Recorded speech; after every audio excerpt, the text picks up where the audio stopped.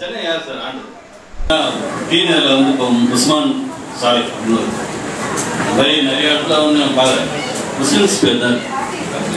முதல்ல யார் சென்னை யார் ஆண்டது அப்படின்னு சொல்லி கேட்குறாங்க நீண்ட நெடிய காலமாக அது முஸ்லீம்களுடைய கையில் இருந்துச்சு. முஸ்லீம் அல்லாதவர்களும் ஆண்டிருக்கிறார்கள். சென்னப்ப நாயக்கர் அப்படிங்கிறவர் இருந்திருக்கிறார். அவருடைய பெயரால் தான் சென்னை என்கிற சொல் வந்துச்சு. மதராஸ் அப்படிங்கிறது தான் நம்முடைய பழைய பெயர். வெளியில் போனால் இன்றைக்கு வரைக்கும் வெளிநாடுகள்லையும் சரி வெளி மாநிலங்கள்லையும் சரி தமிழ்நாட்டுக்காரங்களை குறிப்பதற்கு மதராஸ் வாழா தான் நீ சென்னை வாழாலாம் தெரியாது.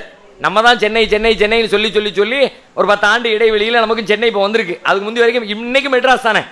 இன்னைக்கும் கிராமங்களில் சென்னைன்னு சொல்லக்கூடிய ஆள் சென்னைனா தெரியாது. மெட்ராஸ்னு தெரிகிற ஆட்கள் நிறைய உண்டு. மதராஸ். மதராஸ் என்ன? அதனுடைய பேர் என்ன? மதராஸ் என்பதே மத இந்த போட்டிருக்காங்கல்ல.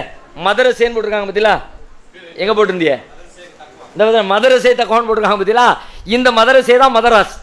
மதரசா அப்படின்னா பாடசாலைன்னு அர்த்தம். முஸ்லீம்கள் படிக்கக்கூடிய மாணவர்கள் படிக்கக்கூடிய வகுப்புக்கு பாடசாலைக்கு பேர்.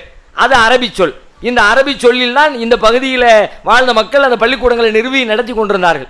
அதிகமாக இருந்துச்சு. அந்த சொல்லே இந்த பகுதிக்கு ஒரு அடையாளமாக மாறி போயிருந்துச்சு. நீண்ட நெடிய காலமாக பல்வேறு பகுதிகளில் இந்த மெட்ராஸ் பகுதியை சுற்றி இருக்கக்கூடிய பகுதிகள் எல்லாமே முஸ்லீம்களுடைய கைவசத்தில் இருந்தது. அதற்கான சுவடுகளும் இன்னைக்கு ஆங்காங்கே மிச்சமாக இருக்கிறது. ஒரு குறிப்பிட்ட காலமாக இருக்கிறார்கள்.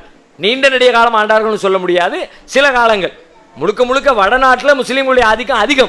முகலாயர்களுடைய ஆட்சி ஷெர்சாக்களுடைய ஆட்சி நிஜாம்களுடைய ஆட்சி சுல்தான்களுடைய ஆட்சி கில்ஜிகளுடைய ஆட்சி இது எல்லாமே முஸ்லீம்கள். இது கிட்டத்தட்ட எண்ணூறு தொள்ளாயிரம் ஆண்டுகள் முஸ்லீம்கள் ஆண்டார்கள் வட இந்தியா. தமிழகத்தில் அவங்களுடைய பா- அவங்களுடைய பாதிப்புங்கிறது ரொம்ப கம்மி. அது அல்லாமல் வாழ்ந்த நாட்கள்ங்கிறது முஸ்லீம்களுடைய ஆட்சியில் ஒரு ஒரு ஒரு குறிப்பிட்ட கணிசமான காலம் இந்த பகுதி இருந்திருக்கிறது. அதன் விளைவாகத்தான் அந்த பெயரும் இருந்திருக்கிறது. அதனுடைய சுவடுகளாகத்தான் நீங்கள் சொல்லக்கூடிய இந்த பெயர்கள் எல்லாம் இன்னும் மிச்சமாக இருக்கிறது.